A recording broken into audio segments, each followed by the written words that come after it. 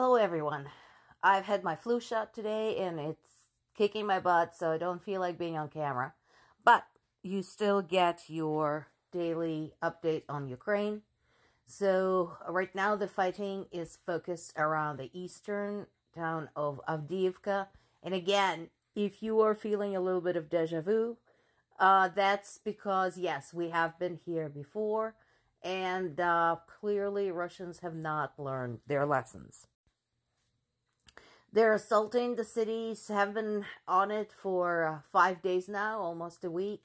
Uh, still not making a whole lot of progress because, again, like I said, they haven't learned. I don't know what made them think that they can just walk in there now. They weren't able to do that when Ukrainians had uh, worse weapons and less training. So, yeah, no logic whatsoever. But of course, this whole war is illogical. And, um, of course, that also means that the more losses they suffer there and at other portions of the front, the more viciously they're going to attack the civilian population all throughout Ukraine. Our friends from the UK are pitching in again, and this is going to be such valuable help.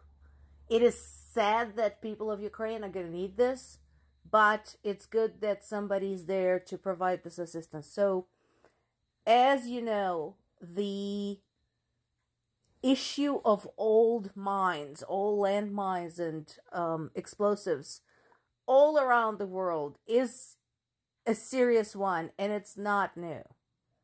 Uh, that has been around for a while, and so there are specialists who basically work on locating, identifying, and disarming old explosives, including landmines.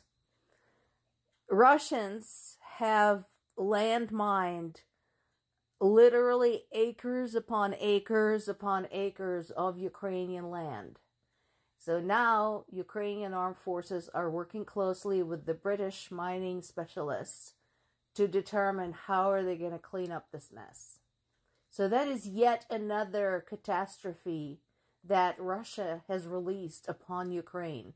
It's bad enough that they have started a war. It's bad enough that they have destroyed entire villages and towns and raze cities off the surface of the earth.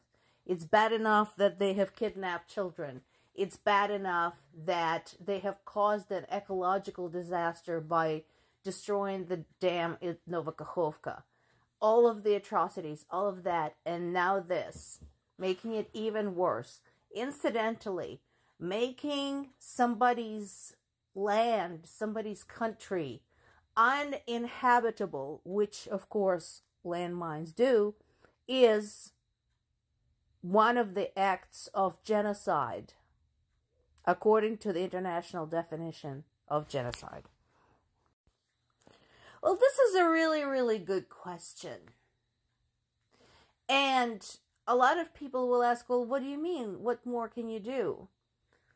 Again, you can start getting serious about treating this war the way you treated World War II. That that is what that means.